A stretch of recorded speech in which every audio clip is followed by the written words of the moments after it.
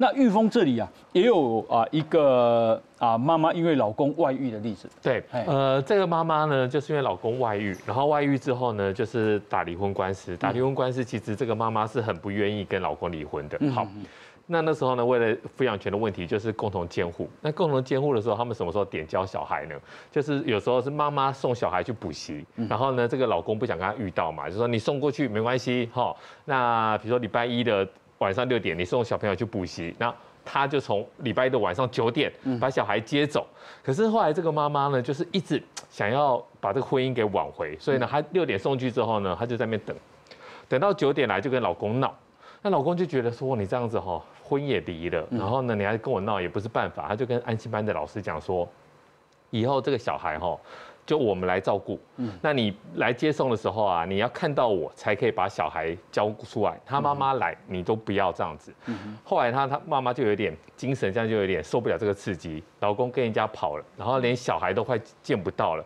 那那个时候呢，他们蛮过分的，就想说你请安心班的老师把小孩子送到地下室去，然后呢，他爸爸在开车，因为爸经济状况蛮好的，再开车到地下室把小孩接走。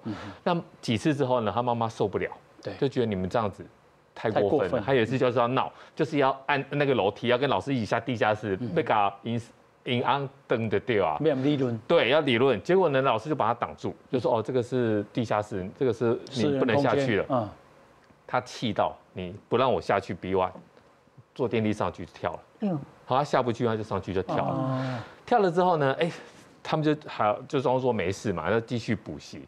他有一次呢，爸爸来的时候呢，就发现小孩子被接走了。嗯哼，爸爸就很生气。我不是跟你说了吗？只有我能接小孩，那到底是谁被接的？那他他太太走了嘛？那到底是谁接的小孩呢？后来就是有一个那个那个比较新的老师就说：“可是妈妈来接啦。”哎呦，哇！他说，然后那先生说他妈妈来接，嗯，哪个妈妈？然后他说。就他妈妈，那小朋友说那是他妈妈，嗯，后来就调监视器，就看到就是那种监视器那种滋滋，好像以前勾搭起来那监视器有有点消磁的感觉。啊，那个背影，长头发啊，穿长裙啊，真的有点像妈妈，嗯，后来就赶快报警去找啊，找了好久，在两公里外面哦的一个公园，嗯，那就看到小朋友半夜一个人在那边溜滑梯，那他爸爸就是说那到底是。你到底跟谁来？怎么走这么远？是，还说妈妈带我来这里玩的，就是说他是不愿离开。后来呢，他举家，这个爸爸跟小三就把这个小女儿全部接到纽西兰了，然后就是台湾也不敢再住了。嗯嗯嗯嗯，是。哎，请教一下廖老师哦，像刚刚高刑警讲那个阿妈的老房子啊，是那个那个需要去化解吗？最好是，对。